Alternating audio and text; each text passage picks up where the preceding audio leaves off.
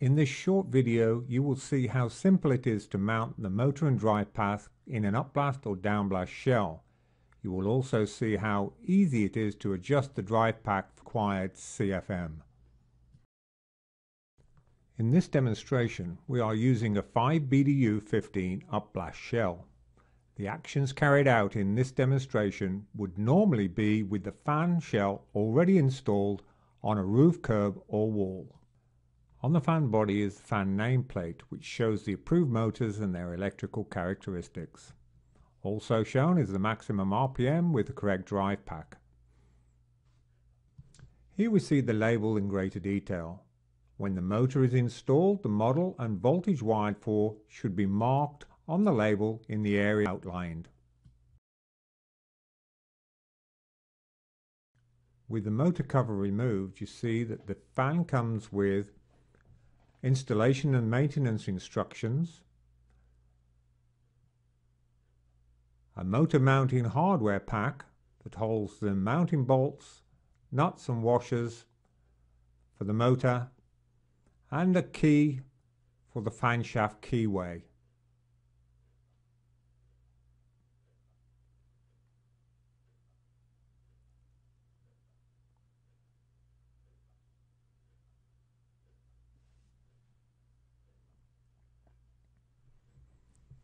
On sizes 15, 16 and 18, a different part pack is used that has longer bolts and half inch spacers. These spacers are required on some motors to ensure that the motor electrical box does not contact the fan shaft. For this demonstration we are using a 3 quarter horsepower single phase motor, 750 RPM, previously wired, with a drive pack 15 inch EB. This combination on this fan gives a maximum catalogue RPM of 1489 and a maximum CFM of 2811.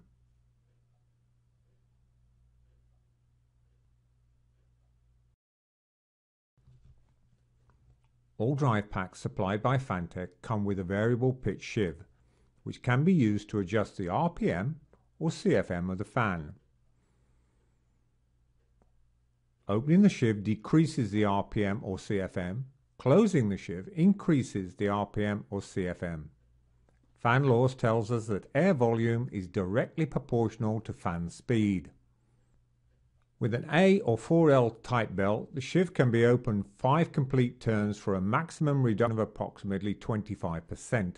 With a B belt, the sheave can be opened 6 complete turns for a maximum reduction of approximately 24%.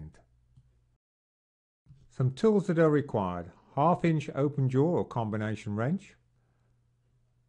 Socket set with wrench and extension.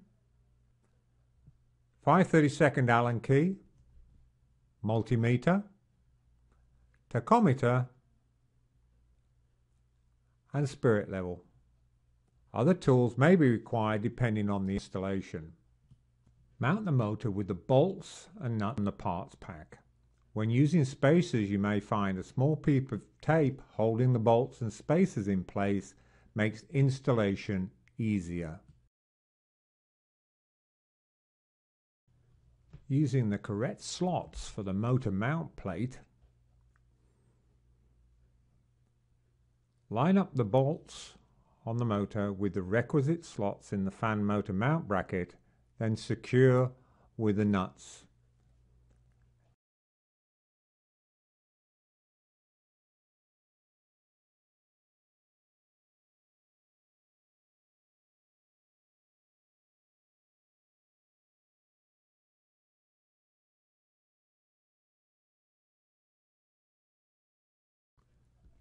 Secure the motor with four nuts once all four nuts are finger tight only, the sheaves can be installed. The motor sheave is fully adjustable. Fully closed gives the highest RPM or CFM.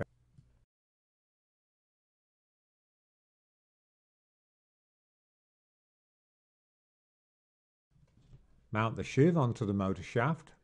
Insert the key into the keyway which stops the sheave rotating.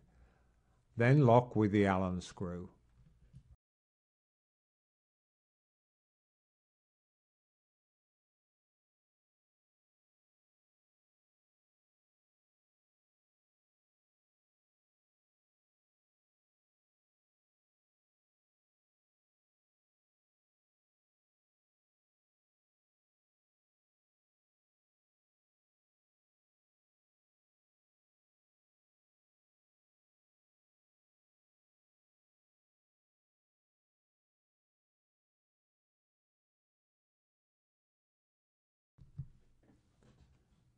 Mount the fan sheave onto the fan shaft using the key supplied from the parts pack. Roughly level the sheaves before tightening.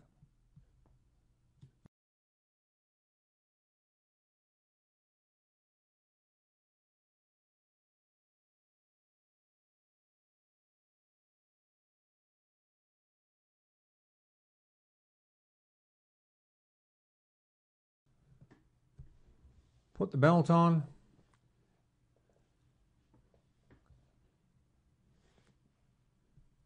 Tighten slightly by pulling sideways on the motor. Ensure the belt is horizontal. And for this you can use a spirit level. And adjust the sheave height if required.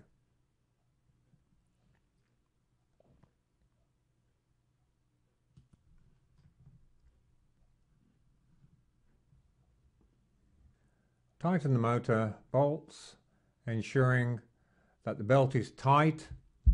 Uh, deflection is the distance between the fan shaft and the motor shaft divided by 64. Tighten all four motor mount bolts.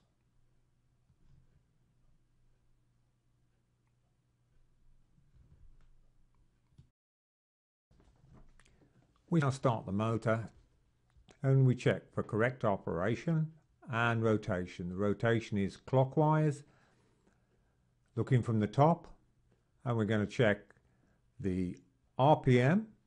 The maximum RPM on this fan is 1489 approximately. We shall also check the amp draw on the fan. The maximum amp draw is 11.7. We see that the RPM is 1491. Pretty much book value.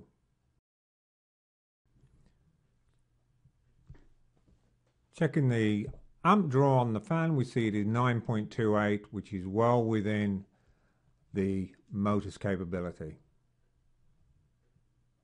Now is a good time to record the motor model used and the voltage wired for on the fan plate before reassembling the fan housing. However, not always is the maximum CFM required. In next section we shall deal with adjusting the motor sheave for RPM and CFM reduction. We look at the catalogue value for the 5BDU15 with an EB motor and we see at 0 the maximum CFM is 2811 for our purposes, let's say we want 2650 CFM. So how do we adjust the motor sheave to get this CFM? The calculation we use is 1 minus 2650 divided by 2811, which will give us 0.57% or 1 full turn open, which is 5%. On a calculator, it looks like this. This should give us approximately 1414 RPM or 2670 CFM. We open the motor sheave one full turn. Slacken off the motor mount bolts and remove the fan belt to adjust the motor pulley.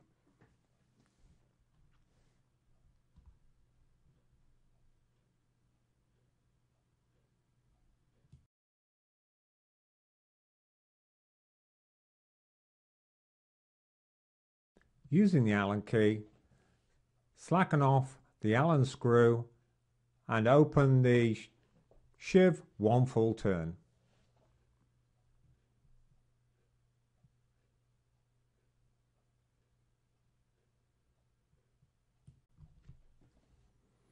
Adjust half a turn, one full turn, tighten up the Allen screw, after which we put the fan belt back on, to tighten up the motor, not forgetting to check the level of the belt and the belt tension. Start the fan and check the RPM.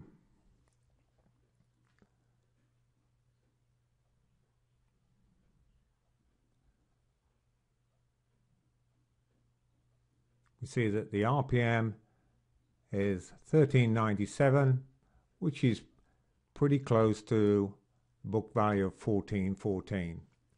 All that remains now is to check the amp draw and button up the fan.